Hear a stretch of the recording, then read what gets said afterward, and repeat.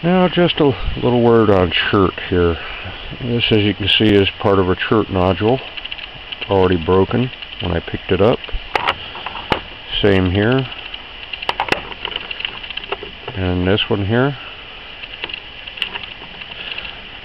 And the reason why I'm doing this video is because I saw a deal online where it was said that chert and jasper were the same thing. Well, there's jasper. As you can see, it's got its own little shine already to it. Here again. And chert tends to be dull. Not always dull, but sometimes, for the most part, it usually is. And chert comes encased with an outer coating. It's just a plain old ugly rock until you break it open. Chert is also more easily flaked than a piece of jasper would be. Jasper tends to be harder, so it doesn't flake off as easy, which is why the Indians use chert for uh, knapping. Now, in some cases you'll hear chert and flint. Flint and chert are the same item. A uh, geologist calls it chert, and an archaeologist will, when he finds an area where they are knapping flint, knapping, will call it flint. When it's used as a weapon, it's flint, and as a rock, it's chert.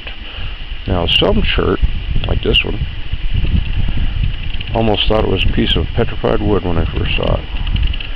But some chert is a little denser, has a little bit more of a shinier look to it, right from the go. But its texture is different than jasper. You can feel the texture of jasper and feel the texture of chert, and they are different. And if you actually read geology uh, web pages and stuff and books, you will find that flint or uh, jasper is part of the uh, quartz family. Quartz, um, chalcedony, agate, and jasper. Uh, jasper being the most densest, it won't let light through it at all. And nowhere in there do you ever see mention of chert. And there is a reason. Is that. This is crystalline in structure, monocrystalline, and chert is a sedimentary rock. They are two different animals, even though sometimes they can have a similar look to them because, like I said, some of them are a little shinier. Like this piece here is going to be shinier naturally than this piece here will be, but they're still chert. So that's my explanation of chert and flint and jasper.